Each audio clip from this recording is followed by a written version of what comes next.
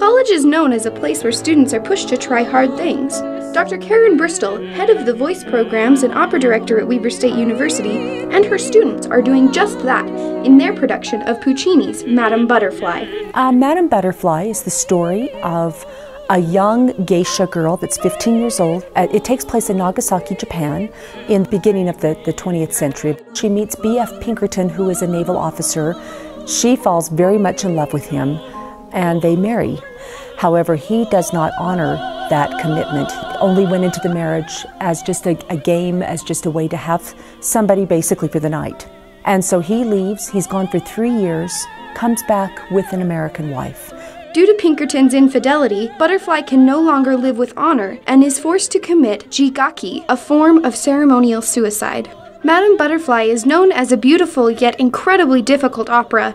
Shannon Jones, understudy for Madame Butterfly, explains her experience. I think we all were very surprised when director Dr. Bristol announced that we were doing Madame Butterfly because um, it's, it's just so difficult musically. We haven't done anything of that scope, and I felt it was time to do something that was really, again, one of the great tragedies of the operatic stage. My biggest challenge in rehearsing Butterfly has been becoming confident and becoming aware of who, who I am as a singer and how I want to portray the character of Butterfly. The Weber State University Opera Program will present Madame Butterfly March 5th through 7th at 7:30 p.m. with a Saturday matinee at 2 p.m. in the Austad Theater of the Val A Browning Center. Tickets are available online and prior to the event at the box office.